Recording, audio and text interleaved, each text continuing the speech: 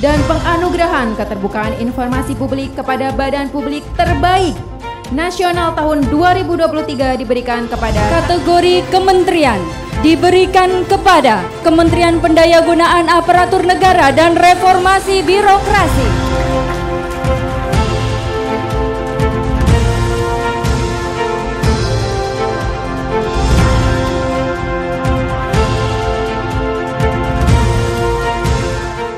Saya memandang keterbukaan informasi publik adalah unsur esensial dalam mewujudkan tata kelola pemerintahan yang baik dan sekaligus salah satu penentu keberhasilan program-program reformasi birokrasi.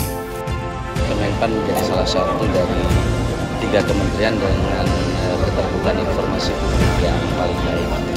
Nah, bagi kami mengapresiasi penghargaan ini karena ini bagian dari upaya untuk mendorong reformasi birokrasi.